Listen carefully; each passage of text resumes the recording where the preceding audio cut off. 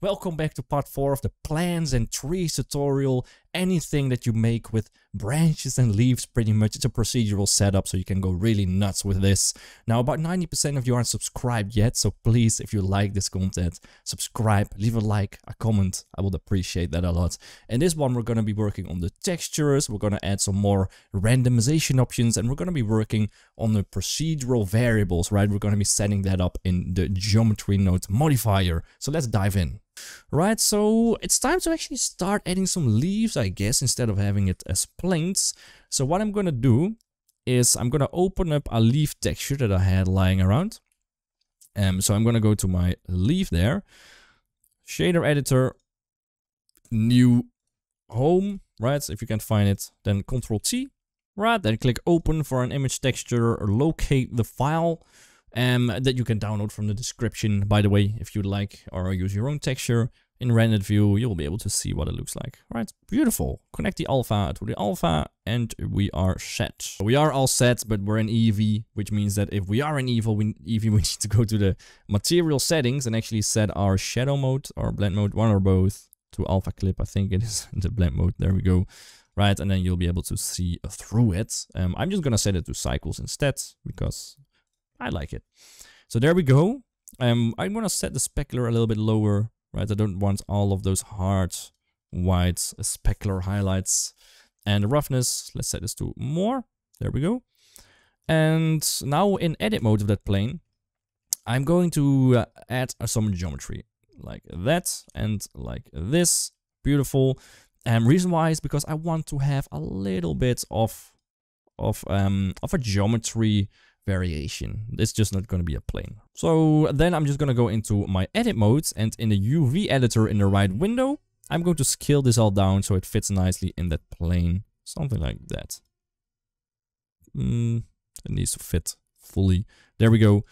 And then in edit mode, I'm just going to select a few corners, enable my proportional editing tool with O or at the top, set this to sharp, GZ, and move this down a little bit.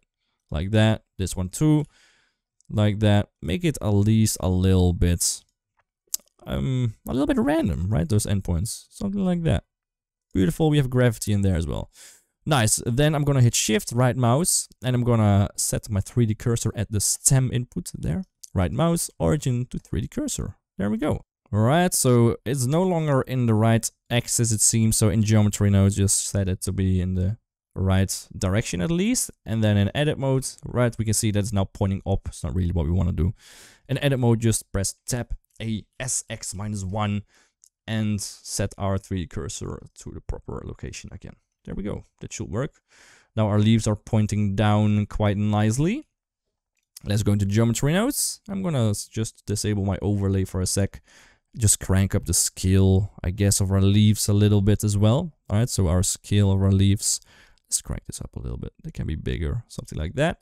And for the rotation, the Z rotation, I want it to be a little bit different, right? I want a bit of a random value there, right? So what I'm going to do is we did the same thing when we created the branches, right? So shift A and we can do rotate Euler.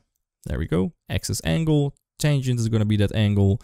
And uh, well, this angle can be random, right? So drag that out, random value, from a minus pi to pi. There we go. Quite easy, quite nice, I'd say. Right, let's crank the scale down just a little bit, make it more, more random. There we go, quite beautiful. All right, quite decent, I would say. They're pointing down a little bit. Maybe we want a little bit more of a random rotation there as well. Um, so to do that, I guess we could just hit Shift A and rotate instances. There we go. And we can just add a little bit of randomness there, random value. There we go. From, let's say, minus 0.5 to 0.5. So not a lot of random rotation, but just a little bit to make it seem a little bit more different. There we go. Right, so now in our geometry nodes inputs, right, we already added a count, a random seed, stuff like that. So we can just change our seed. Everything will look slightly different, as you can see. Right. And yeah, that's just how we set up our leaf, right? If we want more, we can just crank up our branches. Um, I would actually like to crank up my sub branches. So we're just going to do that. So we have our branch density for our second subset of branches, like that. Or what we could do, even easier perhaps, right now it's only adding leaves to the endpoints, but we could also just disconnect this and set this to be a random value too. And then with a prob probability, you can actually set the amount of positions our leaves are going to be spawning in. Something like that. Not bad at all. That's looking nice. Um, an issue I see when I change the seed a few times is that these bottom uh, those bottom branches should not really be there because they will be going into the ground. So how do we fix that? It is incredibly easy. So what we can do is right in front we do any type of editing here. We can hit Shift A and find um, a trim curve. There we go. And well, make sure to connect it to the proper one. There we go.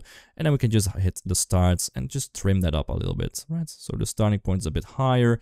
We can even crank down the endpoint so we end up with a little bit of a spike there, but I like it at one. Something like this, right? So now if I change my my seed, you can see we get a new plant every time. Looking quite decent, quite nice. And even if we draw new ones, right, it looks very, very beautiful. Okay, so let's see. Let's draw a little bit of a larger one. Still works. Yep, still works quite nicely. Okay, so that's looking nice. So let's lastly add a little bit of a material to that stem as well. Okay, so to the shader editor we go. Actually, maybe it cuts off our leaves a bit too early, and which means we can play around with this value of the less than node. Maybe something like this works better. Yeah, that's nice, right? looking better. All right, so shader editor. I'm going to go to my world settings first. Say changes to an environment texture. Where is it? Environment color, environment texture. There we go. I'm just gonna add a quick HDRI. You can download those for free on polyhaven.com or what is it now? Is it Polyhaven? I think so. And select one that you like. Then in our render settings, I'm gonna go to my film, transparent. There we go. And then for my leaf texture, I'm going to hit Shift A, mm, Add Shader. There we go. And I'm going to set this to translucent BSDF and connect the same color there. Right, so we get a little bit of light shining through those leaves. Isn't that beautiful? Shift A and find a hue and saturation perhaps. There we go. And then for, if you want less light to be shining through that, just crank that value down. Zero means no at all. And well, one means light shining through that. I want a little bit, not too much though. Something like that. Looking quite decent, right? So for the stem, right? The front part, we already UV unwrap that, right? So that's quite easy. So what I'm gonna do is I'm gonna name this as leaf. And then for my Bezier curve, it's gonna be the branch, or just a plant, I guess. I'm gonna hit a new shader and name this branch. There we go. And we actually want to add a new shader, right? A new texture. Okay, so I'm just going to hit Ctrl T Right, so I got a little bit of a texture that I'm gonna use. You'll be able to download that from the description as well. I'm gonna hit open, downloads, and then there's my uh, my little bark texture, right? Um, so it's not really visible yet. So the reason why, very simple, we didn't set the correct material in our geometry node editor, right? Because we have, of course, got our branches. This is where we add our our leaves, right? So for these three, we want to add a specific material, right? So hit Shift A, join geometry there, and then this one, and right mouse and shift together, hold shift, right mouse, will get a new little ball from which you will be able to drag a line, right? Connect that up there, disconnect it here, and then we can just hit Shift A, set material right there, and set it to be our branch, right? So let's zoom in a little bit, see what happens nothing beautiful happening yet. I'm gonna disconnect my leaves for a sec. In the shader editor, why is this all black? Why is it not working properly? Simple reason. We are not using our stored UV map. We are using the usual UV map. So just delete that, Shift A, find an attribute, and we can now just fill in our own attribute name, our store UV. There we go, and connect that vector up there. And right away you can see that we're getting the colors of our texture and it's unwrapped nicely, right? So stuff is happening. And well, we can just try and fix the, the way this looks just a little bit. So let's just rotate this. And I feel like there should always be some kind of rotation. That's not right. That's not right. That's not right. Perhaps Z90 and scale it a little bit down. There we go. Now we're getting somewhere. All right, so we can see a lot of layering going on, a lot of repetition. So what I'm going to do is Shift A, vector math, set to scale, and scale this down just, just enough so we don't see a lot of repetition going on. There we go. All right, so this is looking like bark, a little bit of a plain material. So the same texture I'm going to be using for a bump map, right? So drag that color out to a color ramp. That's not the right one. Color ramp the regular one. And I want this to connect to my normal map. Shift A, bump, drag that in between and connect this to the height instead. And just reduce the strength so it's not overkill. Right, so you have a little bit of a bump map, but not too strong. Something like that. So beautiful. So I'm going to Control Shift D that color ramp and connect that up to the roughness as well there. Right, so I don't want it to be completely glossy at any point. So I'm going to grab this and set it to be a little bit light grayish like that. That is looking quite decent. All right, so let's re-enable our leaves as well while we're at it. Reconnect that in the join there. And that is how we create a plant, right? It actually has the right materials, it has leaves, it has everything a plant needs to have, right? Draw new ones, change its settings, um, all that's left is to just connect up our input geometry pretty much, right? So we have our random seed, rotation, alignment, and um, for those starting branches, right? You can make them point more up, more down, right? Very procedural, quite nice. Um, so this is for the first one. If I go to my group, we can rotation, alignment, um, sub branch. There we go. This count is gonna be sub range density. There we go. Beautiful. Then I would connect uh, this up for sure, because that is going to be our sub-branch radius. Radius. Hello. I did not type that right. Radius.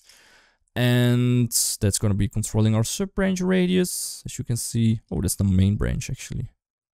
Ah, yes, of course it is. um, so just name it radius. Yes, there we go. Then we all want this to connect as well, right? So Shift A, group inputs.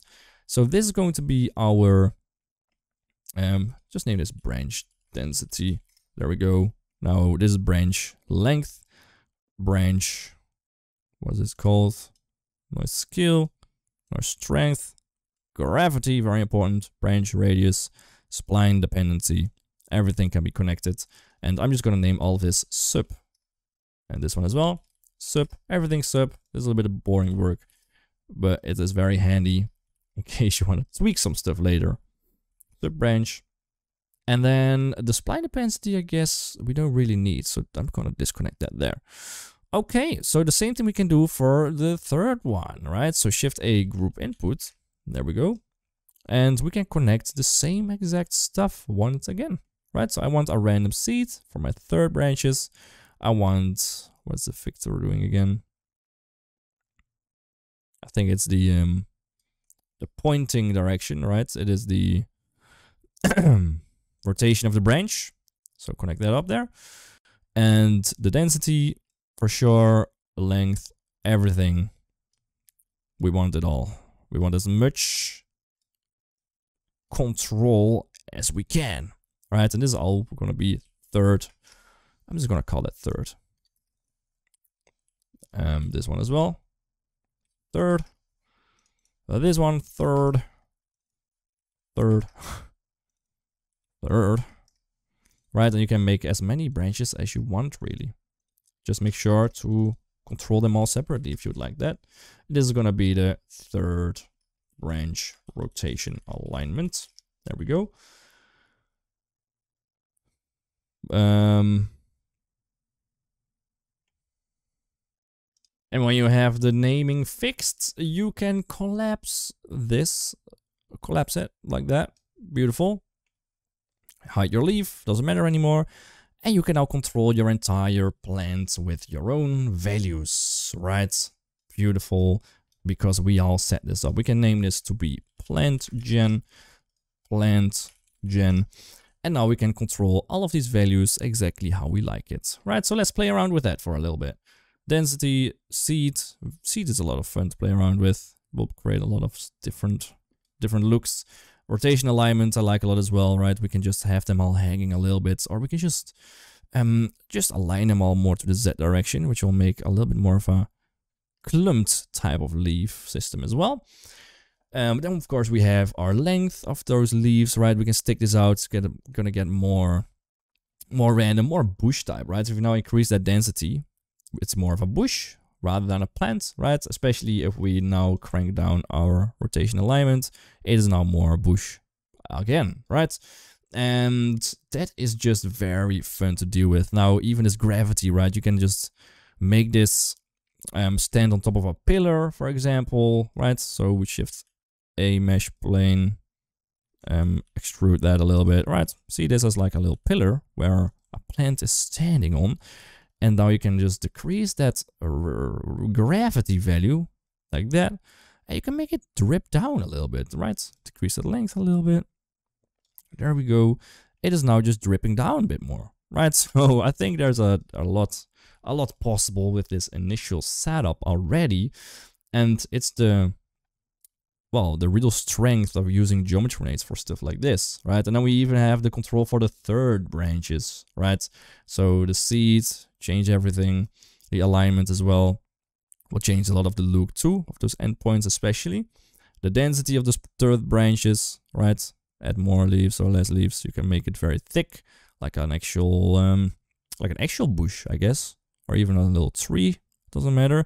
You can crank this up and just crank up your your branch radius to be thicker. You can see it's more like a gonna be more like a tree, I guess.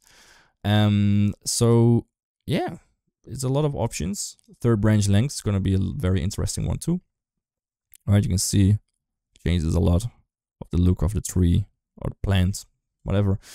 Noise scale as well, right? We didn't even touch this for the first one yet. The noise scale. If we up that strength, our bush is getting more random and random.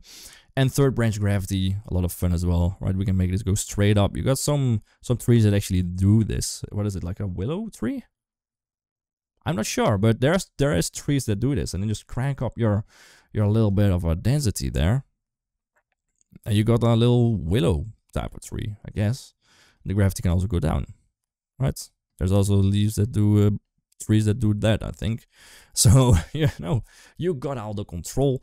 Um, I like doing uh, this work a lot, making procedural stuff. Now, if I would ever need another plant, I will just use this, customize it myself, and um, you change the um the leaf texture once in a while or change the color, right? We can just select our leaf and go to the shader of that leaf and actually just add a hue and saturation value in between there, shift a hue saturation value, and we can actually just change the hue, right? Make it blue or make it more dead, right? Make it a bit more of a dead type of leaf or a fall leaf. Quite beautiful, right? So there's a lot of stuff you can do. So that was it, right? Now you know how to create your own little procedural plant tree generator, right? You can make this any shape you'd like, make it higher. You can even use this for trees, I now realize which is quite fun, right? Add more branches. Now it's a tree, right? Isn't that interesting?